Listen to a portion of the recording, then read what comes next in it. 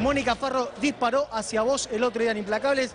Te dijo de todo. Las primeras vedettes que ella quería en su momento, cuando a mí me llamaron hace como tres meses, como nadie firmó, se quedaron con gente del elenco que me dijeron, y hoy está la, que, la persona que está hoy como primera vedette. Las número uno son distintas todas.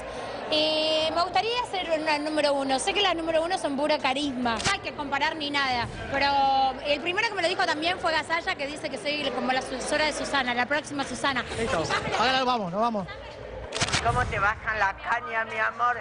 La verdad que te me mato de risa. Mónica Farro Huesa. Eh, Siendo vedette se nace. No, yo- podés estudiar la postura, los bailes. Yo nunca quise ser bailarina, yo siempre quise ser vedette. Y la verdad que a mí me eligieron. Soy recontra jirafa, porque las jirafas llegan bien alto. La verdad que sí agradezco de haberme comparado con ese animal. Eh, igual quiero agradecerle a toda la gente que opinó, que habló, que se maquilló, se despertó, se produjo, se maquilló, se fue y se sentó en los programas para hablar de mí. Farro. Quiero agradecerle a todas ellas, la verdad que fueron, son personas que me hacen crecer día a día y en Año Nuevo brindé por todas ellas porque me hacen y me siguen haciendo crecer. Y Done dijo que sos una jirafa bebé que te tiene que dar vergüenza de lo que haces. Agradezco a todas por opinar, preocuparse y ocuparse de mí porque me hacen crecer día a día.